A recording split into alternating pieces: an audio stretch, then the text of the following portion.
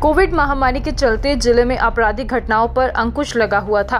लेकिन जैसे जैसे कोविड महामारी का प्रभाव कम होता दिख रहा है वैसे वैसे आपराधिक प्रवृत्ति वाले लोग भी सरगर्म होना शुरू हो गए हैं। और ऐसे ही प्रवृत्ति वाले दो लोगों को पकड़ने में पुलिस ने सफलता हासिल की है, जो शहर के अलग अलग स्थानों पर चोरी की घटनाओं को अंजाम दे रहे थे।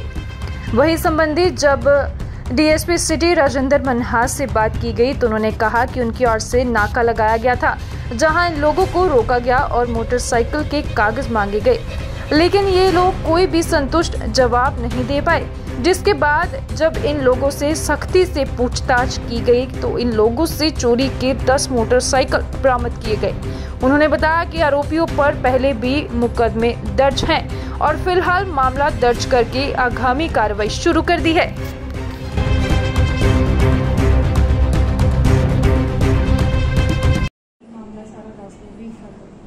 ਕੱਲ ਆਪਾਂ ਨਾਕੇ ਦੌਰਾਨ ਦੋ ਚੋਰ ਫੜੇ, ਇੱਕ ਹੈਗਾ ਜੀ ਸਾਹਿਲ ਔਰ ਦੂਸਰੇ ਦਾ ਨਾਮ ਹੈਗਾ ਜੀ ਸਖਸ਼ਮ ਮਨਹਾਸ ਇਹ ਇੱਕ ਹੈਗਾ ਗਰੋਟੇ ਦਾ ਰਹਿਣ ਵਾਲਾ, ਦੂਜਾ ਨਾਜੂ ਦਾ।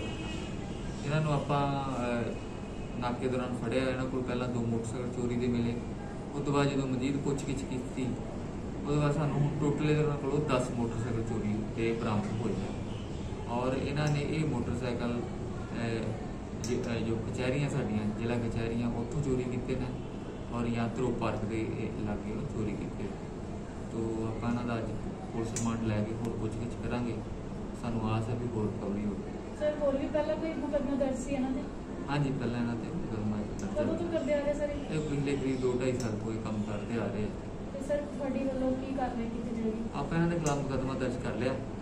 ਤੇ ਅਰੈਸਟ ਇਹਨਾਂ ਨੂੰ ਕਰ ਲਿਆ ਜਾਏ। ਅਹ, ਪੇਸ਼ ਕਰਕੇ ਰਿਮਾਂਡ ਲੈ ਕੇ ਹੋਰ ਪੁੱਛਗਿੱਛ ਕਰਾਂਗੇ। ਸਰ ਆਰੋਪੀ ਕਿੱਥੋਂ ਦੇ ਰਹਿਣ ਵਾਲੇ ਹੈ ਇੱਕ ਨਾਜੂ ਚੱਕ ਦਾ ਔਰ ਦੂਜਾ ਗਰੋਟੇ ਦਾ